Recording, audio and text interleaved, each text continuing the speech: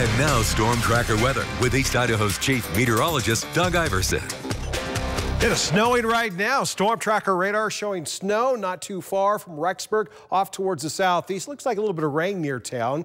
And we've had a little bit of snow just south of St. Anthony over part of the sand dunes. And this area snow stretches around Tetonia all the way down to Driggs over the Tetons, Pine Creek Pass getting snow. But for the rest of us, it is dry out there and it's going to stay dry for about a day or so. We have high pressure building in, so that high pressure system will give us dry weather tomorrow and warm us up just a tad bit. And with high pressure starting to build in, the wind will finally relax. But we're looking at this, at least the possibility of this for Thursday. That means a chance of rain, but this will bring a warm front across the state, and that warm front will jump our temperatures up a good uh, 10 degrees. So tomorrow, we're in the 50s. Thursday, we're in the 60s, and a slight possibility you may need your umbrella, huh?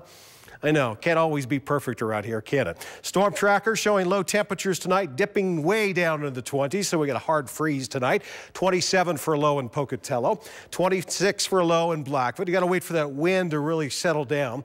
We're expecting light winds late tonight, early morning.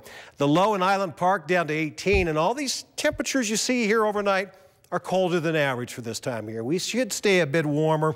12 for a low in Yellowstone, 17 in Jackson. 10 degrees warmer than that, though, over in Lava Hot Springs and near 30 for a low in Malad City. Now, tomorrow, we didn't even hit 50 for most of us today. Well, tomorrow will definitely be in the 50s, mid 50s as a matter of fact. 56 at Pocatello, 54 for high in Blackfoot. Looks like the high near 50 in Soda Springs and we'll be about 51 in Rexburg. 57 will be the high up at Salmon, 54 in Challis. Future tracker. Start off with relatively clear sky, a few clouds around for good measure. Looks like a little rain snow midday over the Tetons, but base of clouds will thicken tomorrow and into tomorrow night and Thursday. We have a chance of rain, but hey, who cares about that? At least we'll hit a high of 61, huh? Friday, we're 67.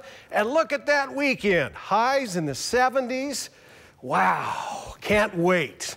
Partly sunny on Monday, and there's maybe partly chance we could get some wet weather around here, but who cares about that? Idaho Falls seven-day forecast. All right, we'll take 61 for Thursday.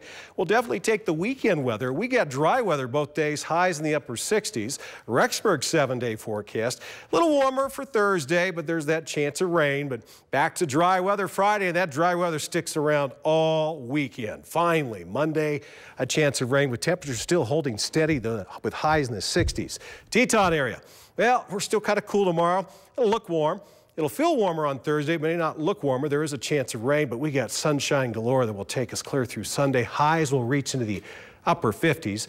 And for the Central Mountains, mid 50s tomorrow, upper 50s Thursday, a chance of rain. Look at those upper 60s for Saturday.